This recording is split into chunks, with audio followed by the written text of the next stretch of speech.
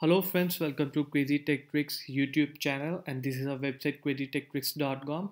Well today I would be just guiding you how you can just remove all kinds of ad blockers from your Google Chrome. Uh, we have just made this article dedicated to ad choices pop-up blocker because we keep on just get irritated when we open any of those website and these kinds of pop-ups just starts opening on your Google Chrome.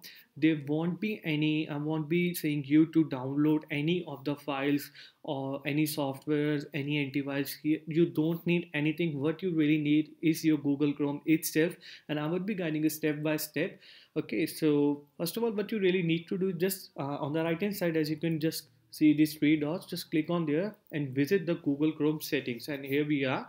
So now just right here, pop uh, there you can just see the section which is a dedicated section at the end of this section. Uh, it's uh, written here content setting control what uh, information website can use and what content they can show you. And under that there is a pop section. So here when we just tap on here then here you find it that option at the end pop-ups and redirects. And as you have see that I have just entered here blocked so how I did that? So it's really easy. You can even make any of these website dedicated which you really want to receive a pop-up notifications from them. So you can just allow them or you can even just block any of those specific website uh, for which you don't want to receive any pop-ups.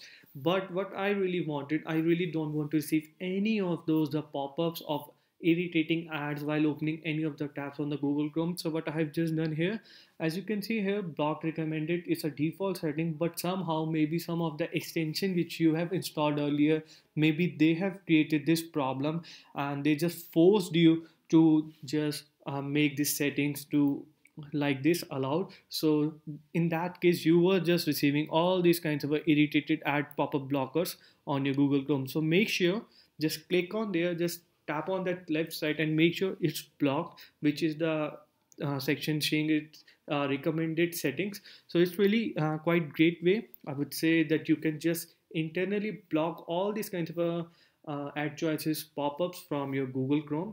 There are also lots of methods, but they are forcing you to install any XYZ softwares and then antivirus, etc. But I will suggest you don't go uh, on these any of these methods. So just visit this website. You can just see all these kinds of things. If you face any kind of a problem in this tutorial while watching this, then I'll be sharing this similar article link below from where you can just read it and follow the instructions step by step and just utilize it on your Chrome. And of course, it will really help you to remove all these kinds of ad choices blocker from your Google Chrome. So thank you friends. Thanks for watching this video. Uh, I would be quite happy if you're gonna just like on this video and do subscribe to my channel. If you have any problem or any suggestion or whatever you want to see any problem you are facing on your internet related how to anything then do comment do email us. You can do anything. So thank you friends. Thanks for watching. Have a nice day